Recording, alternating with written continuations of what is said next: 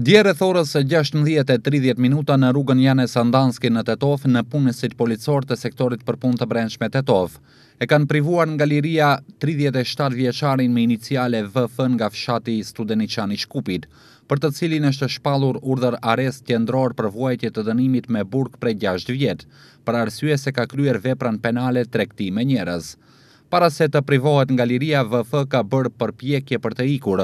Me ç'rast nëpunësi policor i Sektorit për Punë të Brendshme Tetovë ka gjuajtur një plumb paralajmërues në ajër. I arrestuari është mbajtur në stacionin policor Tetovë, prej ku edhe është dërguar dhe dorëzuar për vuajtje të dënimit me burg, në burgun e Idrizovës në Shkup.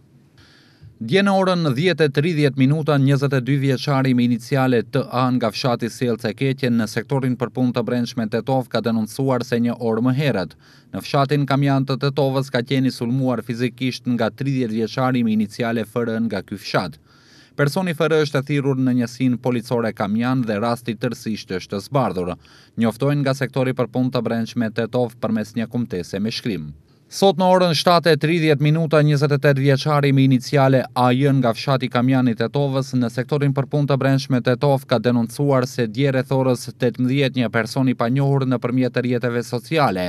e ka shantazhuar në mënyrë që nëse deri sot pasdite nëpërmjet bankës nuk i paguan dyqind euro do të publikojë videomateriale të tij me përmbajtje komprometuese. Po ndërmerren të gjitha masat dhe aktivitetet për zbardhjen dhe dokumentimin e plotë të rastit në fjalë, njofton Sektori për Punë të Brendshme Tetovë.